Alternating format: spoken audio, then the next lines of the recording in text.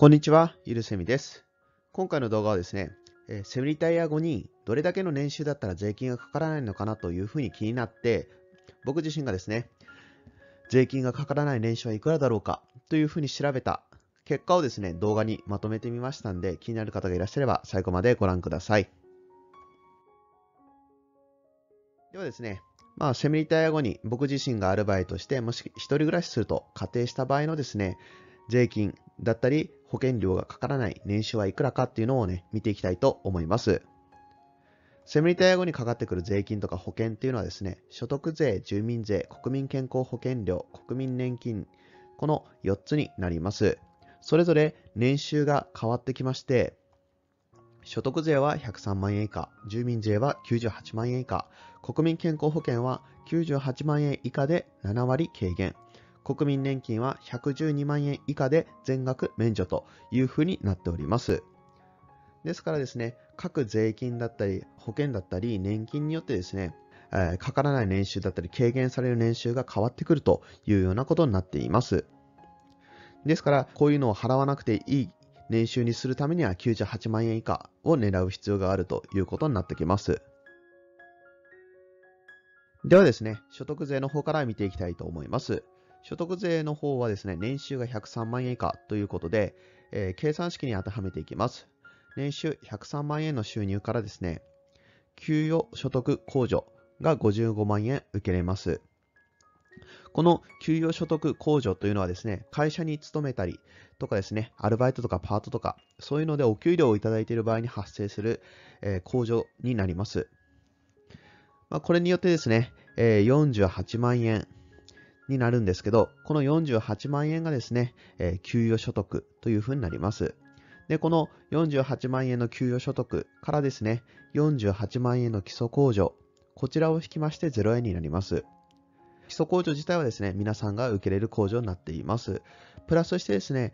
これ以外にもですね、社会保険料控除とか、まあ、扶養家族がいる場合はその控除とかもありますので、これはですね、人によってちょっと変わってくる部分かなというふうに思います。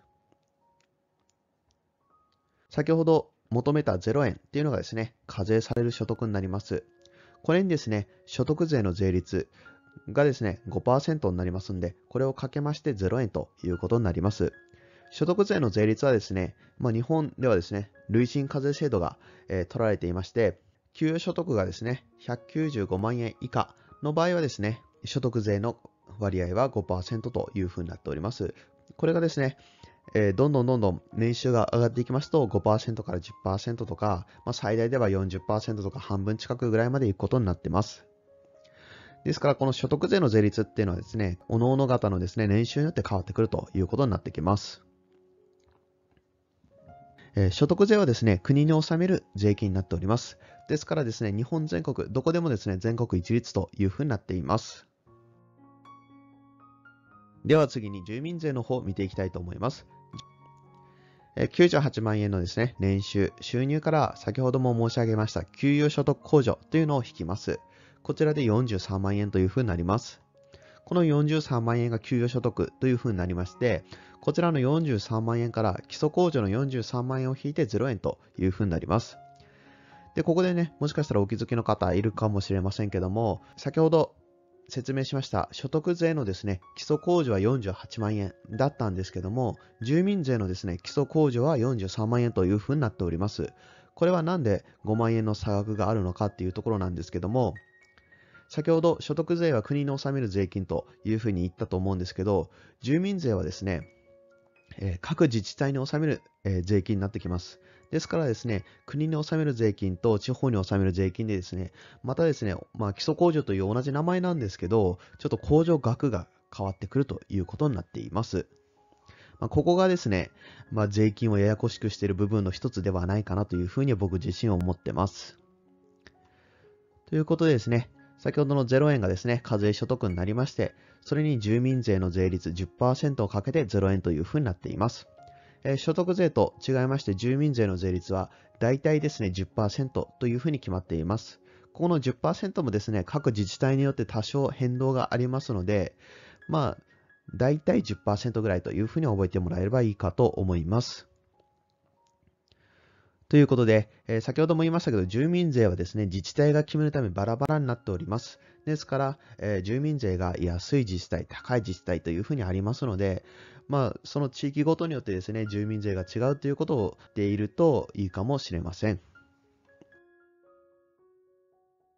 で、まあ、先ほど住民税のですね、0円になりますよと、年収98万円以下だったら0円になりますよというお話をですね、させてもらったんですけども、そもそも住民税というのはですね、所得割率プラスですね、均等割額というので求められる税金になっております。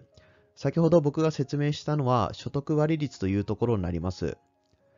で、98万円以下だと、この所得割率っていうのは0円になるんですけども、均等割額ですね。こちらの方はですね、0円にならない可能性があります。この均等割額というのはですね、各自治体が決めているですね、定額のですね、住民税になりまして、5000円ぐらいなんですけども、この均等割額はですね、98万円でもね、かかってくる場合があります。これもですね、各自治体によってですね、変わってくるので、この均等割額がかかってくるかかかってこないのかっていうのはですね、各自治体にですね、問い合わせされた方がいいかと思います。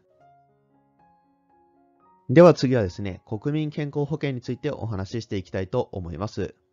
国民健康保険はですね、年収98万円以下で7割軽減ということになってまして、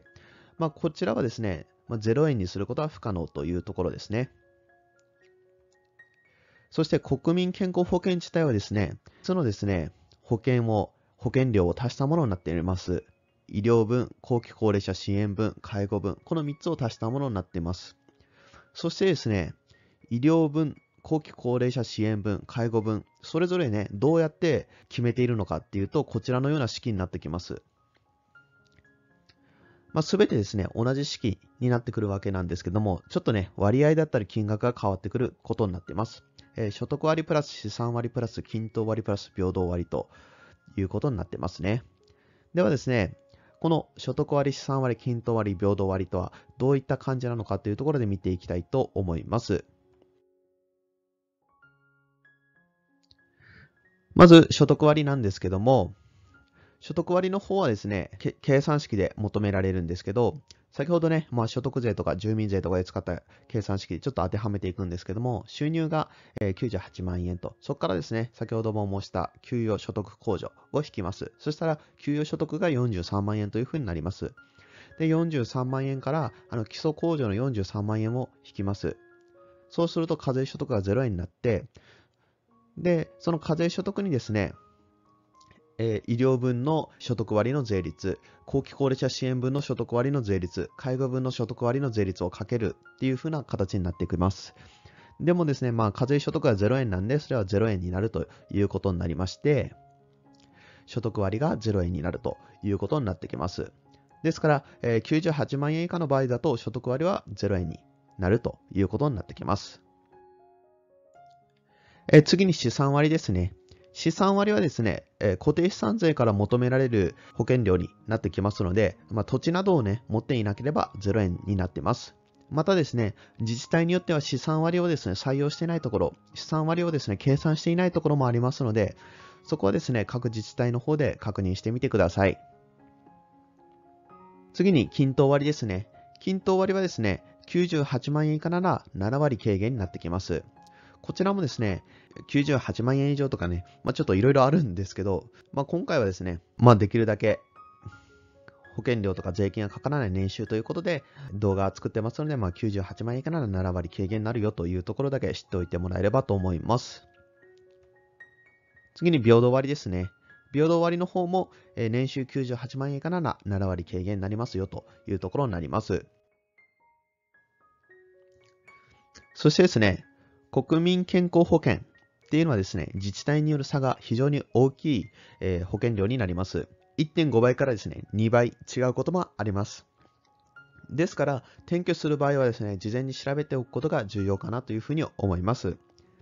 一応ですね、えー、概要欄の方に、ちょっと古い2014年のデータではあるんですけど、各自治体の国民健康保険のランキングっていうのがね、ありましたんで、一応そこの URL 貼っておきますので、気になる方はご覧ください。ではですね、最後に国民年金見ていきたいと思います。国民年金はですね、年収112万円以下で全額免除というふうになっています。計算式に当てはめまして、112万円の年収、収入ですね、こちらから給与所得控除を引きまして、57万円の給与所得というふうになります。まあ、ここでですね、国民年金の免除の表を見ていきたいんですけども、こちらの表で表している通りですね、全額免除、4分の3免除、半額免除、4分の1免除と、いろいろですね、免除の条件というのがありまして、全額免除の場合はですね、扶養親族等の数プラス 1×35 万円、プラス22万円というふうになります。えー、今回ですね、一人暮らしの場合っていうので見ていますので、えー、扶養親族等の数は0になります。で、プラス1ですから、純粋に35万円プラス22万円ということになりまして、全額免除の場合は57万円以下だと、えー、全額免除になりますよということになります。ということで、えー、今回の動画のまとめになります。今回はですね、セミリタイア後に一人暮らしをして、アルバイトとかで働きながら暮らすといった場合のですね、